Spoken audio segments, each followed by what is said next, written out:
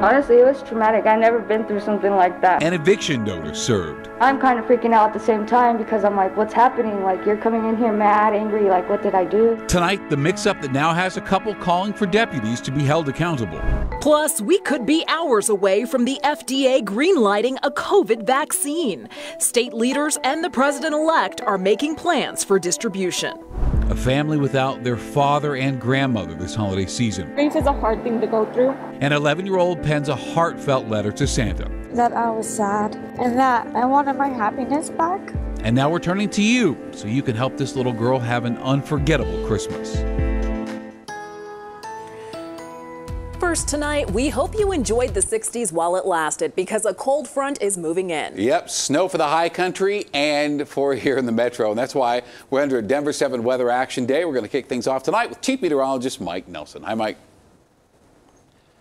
Hey, good evening, guys. We don't want to get anybody too upset about this for tomorrow morning. It'll be fine, but we want to give you a little advance notice. The 60s are done, folks. 68 was the high temperature today in Denver, 64 at Fort Collins. Greeley was at 61, but now we have winter weather advisories in effect for the southwestern mountains as well as the Sangre de Cristos as a cold front comes our way from the northwest combined with a storm system dropping in from Arizona, and that's going to come together over Colorado and bring us some cold and snow. So the colder weather starts tomorrow. It'll be dry in the morning, but the snow develops later in the afternoon. Snowy and cold Friday. Probably the Friday morning drive will be the toughest, and then a snowy and colder pattern taking us into the middle part of December. Tis the season.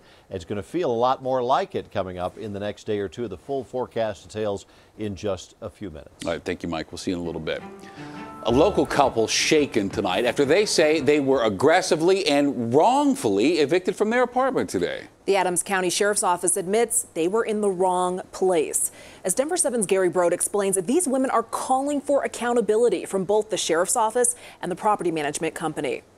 Chantel Jacobs was sleeping when she heard a pounding on her door. It was the Adams County Sheriff's Office. So I kind of cracked the door and he's like, he kind of like budges his way. At this point, Jacob says she had no idea why they were there with their guns drawn. Hey, like I'm scared. Like, can you tell me what's happening? And he finally tells me, and he's like, pretty, he's being rude about it. He's like, this is an eviction. Do you know what an eviction is? It's an eviction. Jacobs described one of the deputies as hostile. I tried to pick up my phone because I was scared. I tried to call my mom. He went, he like kind of like slapped the phone out of my hand. He was like, if you make a call, you're not grabbing anything. I'm just going to throw you out. Problem is, deputies entered the wrong unit at the Tuscan Heights apartments. Adams County Sheriff's Office tells Denver 7 management at the apartment complex gave them the key to the wrong apartment, and when they realized, they put the couple's belongings back. Also saying nothing was stolen or damaged, but Jacobs and her girlfriend Lisbeth Escarcega say there was damage, including to their iPad. Black bag in the kitchen with uh, broken plates, there's ranch and stuff all over shoes, uh, our remotes, our iPad was in there shattered. And they say the rest of their stuff ended up on the lawn. Honestly, it was traumatic. I've never been through something like that. Like, and then it's embarrassing too. The two women finally were allowed to see the court order, which not only shows the address for the apartment building next door, but it also shows a man's name. Jacob's mother took this video of the family that order was meant for. They were evicted later in the day. I just want them to make sure they check the addresses, make sure they ask names, make sure that they just don't go in there and unrightfully take somebody's stuff out. Adams County Sheriff's Office says they are internally looking into the matter to make sure a similar situation doesn't happen in the future. We reached out to Tuscan Heights management for comment. So far, we have not heard back. Reporting here in Denver, Gary Brode, Denver 7. Tonight, we can finally report a number below 4,000 for daily cases in Colorado, but this number, 3,700, it's still too high, still not where it needs to be. There are nearly 1,700 Coloradans hospitalized either for a suspected or confirmed case of COVID 19, and tonight, 83% of ICU beds are in use. We'll be closely watching that big FDA meeting scheduled for tomorrow because by this time tomorrow night, we could have official FDA authorization for the Pfizer coronavirus vaccine here in the U.S. Today, Canada joined the U.K. in authorizing the vaccine, and the state released its finalized vaccine distribution plan. So the first to get the vaccine this winter include Colorado workers in COVID-19 wards who have direct contact with patients, staff, or residents at long-term care facilities. Healthcare workers and first responders are next on the list.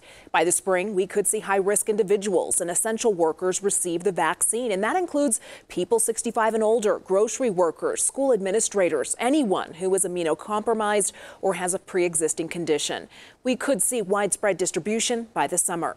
The federal government is allocating vaccines based on population. Last week, Colorado requested more than 46,000 doses of the vaccine to start us off. President elect Joe Biden laying out his plan to rein in the pandemic in his first 100 days. That includes 100 days of wearing masks in federal buildings, distributing 100 million doses of the vaccine, also safely reopening schools. Biden also formally named retired General Lloyd Austin as his pick to lead the Defense Department. If confirmed, General Austin would be the first black defense secretary in United States history. A reminder tonight for restaurant owners in Adams County. You can officially start applying for the one-time $10,000 grant through the county's new stability program. You have to prove serious hardship or loss from capacity limits or the lack of indoor dining. RTD is calling on the federal government tonight to provide more financial relief for the transit agency. Their funding through the CARES Act could run out in a few weeks, and they worry what that could mean for an agency already looking at a $140 million budget shortfall. Salaried employees are taking pay cuts next year. Workers saw furloughs this year. And really, public transit nationwide is in trouble. With looming cuts in service, there's concern that could uh, hurt our nation's economic recovery. The theory is if service is reduced now, well, those routes might not be there when this pandemic is finally over. 36 million people in the U.S. depend on public transit. Obviously, ridership is down now, so revenue is down now. In Washington, D.C., for example, the transit agency there losing $100 million a month. In New York City, $16 billion in cuts. We talked already about RTD's budget shortfall. And in San Francisco, just the light rail dealing with a $33 million hole. It's really time for our political leaders to step up uh, and provide the funding that transit needs. A lot of governors are thinking about a reopening strategy for the spring and summer of next year, uh, and they need to make sure that transit is there um, to be a critical part of that reopening strategy. And then another troubling indicator for public transit demand for used cars is booming. So there's fear that people will permanently ditch public transit after the pandemic. And what about the implications on housing? Cities and towns are building apartments and housing complexes near these transit hubs. And with more people working from home, demand for that kind of housing has dropped significantly. Now, a federal bailout could be a long, long way away. A public transportation funding bill has passed the House. That was earlier this year, but it has not made it to the Senate floor. This Christmas, a little girl won't have her father or her grandmother to celebrate with. They passed away in a house fire over the summer. 11 year old Brooklyn survived. Well, Denver 7's Adi Guajardo tonight shows us a very touching letter this girl wrote to Santa with one wish happiness to ease her pain. And tonight you can help. On the corner of Harlan Way in Arvada, there's a magical sight filling hearts with hope. It's just amazing. A home Santa can't miss. It's where his biggest fan and helper lives. Every night I send the letters off to Santa. Every day new letters arrive, but one in particular, heavy with heartache, caught Amber's eye. Santa, I've been suffering from depression and my anger issues have been bad lately. So what I'm trying to say is I shouldn't get presents and can you please stop my sadness? Santa sent his helper on a mission. He said that I needed to find her. With the power of Facebook, I'm 11 years old. Amber tracked down Brooklyn, who penned that heartfelt Christmas wish. I was sad. And that, like, I wanted my happiness back. A fire ravaged her home and left her family in despair. Our dad and our grandma passed away during the fire, but Brooklyn got out. Thanks to our amazing neighbors. A survivor, filled with grief, but not alone. My dad passed away in a house fire, and I just immediately wanted to protect her a guide for a little girl who feels lost in a world of pain. I feel like whether it be my dad or Brooklyn's dad, that they brought us together. Forming a new bond and a new wish list. Brooklyn loves to do crafts, so she wants paint sets, watercolors. The simple things that help paint a life full of love. I would just want to wrap this year with a good note.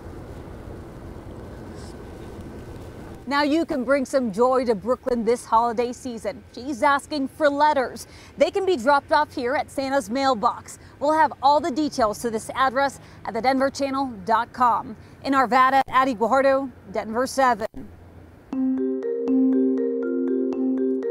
He's my best friend. He lost his companion, but one man's mission to find a new emotional support animal turns into a nightmare.